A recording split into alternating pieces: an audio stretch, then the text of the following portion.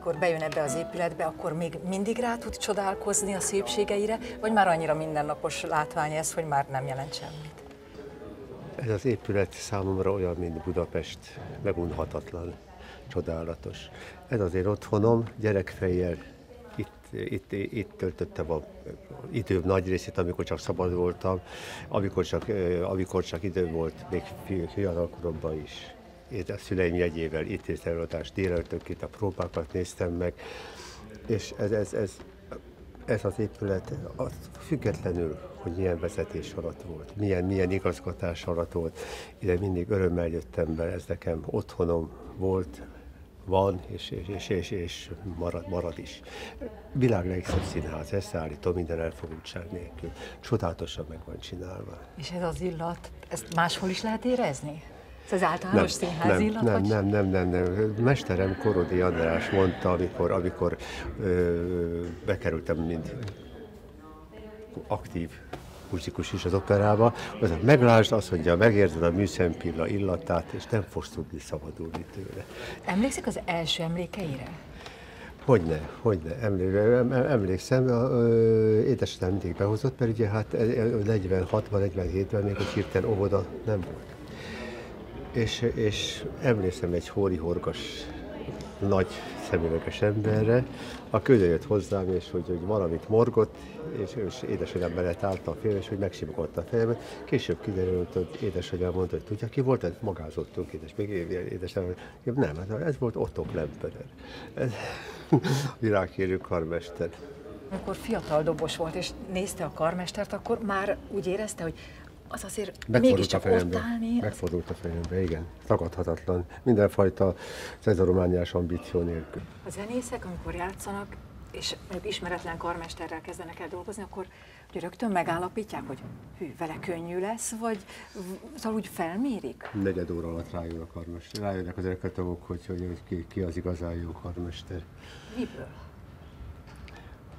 Hát ez lehetetlen megfogalmazni pontosan. Pontosan kell tudni a szakmát, az is a tisztán világosan adni instrukciót, és adni a, a, a mozdulat egységet, a, a, a, a tempónak a, a vezetését, de ami megfoghatatlan, és amitől misztikus fáj egy kicsit, az a, a kifejezésnek a sugárzása, amit se tanítani nem lehet, se, se tanulni, se, el, se csak úgy elsetni, nem, ez, ez, ez valahogy Isten ajándékként az emberrel születik valahogy az alázat és a kifejezés készségek és a, és a mű, művészetbe, de, de minden bevetett hit, ami, ami, ezt, ami, ezt, ami ezt sugározza. És van olyan karmester, akitől tartanak? Tehát olyan Van, szig- igen, vannak kétség, vannak kétségtelenek, de a, a, a karmesteri pálya az óhatatlanul vonzza azt a, a hatalmat. A karmesteri pálya nem hatalom.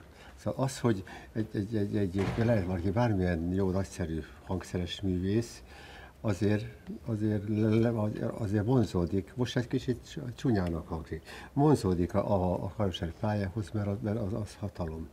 Hatalom ha, emberek fölött, repertoár fölött, műsorterv fölött, próbaterv fölött diszponál és rendelkezik.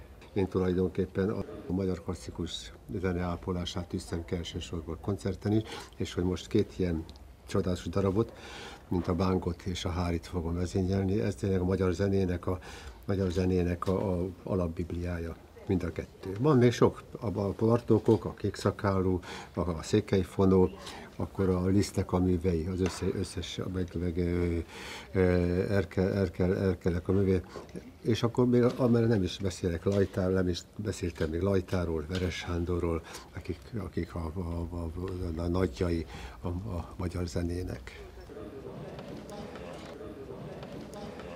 Kotálytól megkérdezték, hogy mikor kell elkezdeni egy gyerek nevel, zenei nevelését. Azt mondta, hogy kilenc hónappal a születése előtt. Tehát ilyen, hogy korai zene, ilyen, ilyen, ilyen nem létezik. A ifjúsági koncerteket is sokszor a, a, a, mondják, hogy hát nem tudom, egy, egy Mozart kis kísérleti zene, egy hat évesek, hét éveseknek, abból a hú, 30 gyerekből csak háromban kicsit a szikra megszólal, akkor már nem csináljuk hiába.